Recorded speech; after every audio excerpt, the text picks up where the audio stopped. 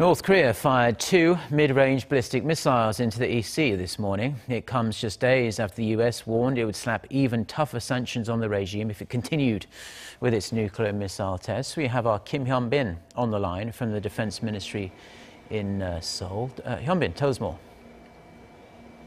Well, Mark, as you mentioned, North Korea launched two ballistic missiles, and the first one was fired at 5:55 a.m. South Korea time at Sukchon uh, in the country's southwest. And officials here say the missile, uh, presumed to be a mid-range Nodong missile, uh, flew 800 kilometers before falling into the East Sea. Now, the other one was fired 15 minutes later from the same location.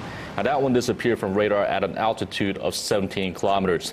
Now, South Korean military official says it most likely malfunctioned and blew up in midair. Now, South Korea Joint Chiefs of Staff said the missiles were fired from a transporter erector launcher, also known as TEL. Now, North Korea's last, last test fired a Nodong missile in March 2014, and it has a range of up to 1,300 kilometers, putting Seoul and Tokyo within striking distance. Making matters more concerning, uh, the missile's warhead can be loaded with biochemical substances. Yeah, so it's not a missile to be taken lightly then. And uh, Hyunbin, North Korea rarely just launches these kinds of missiles spontaneously. What prompted the North to do this today?